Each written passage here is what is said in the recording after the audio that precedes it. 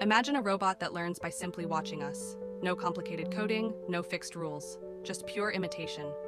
This breakthrough was achieved by scientists at the Vienna University of Technology, who've taught a robot to clean a wash basin just by watching a human use a special sponge. This sponge is more than just a tool. It's packed with sensors that help the robot understand every move, the right amount of force, the correct angle, even the speed. The result? A robot that can adapt, learning not just how to clean one sink, but how to handle every curved edge, every surface.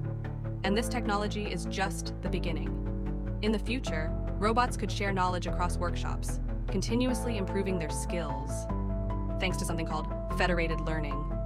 It's a future where robots learn together, making our work easier, more efficient.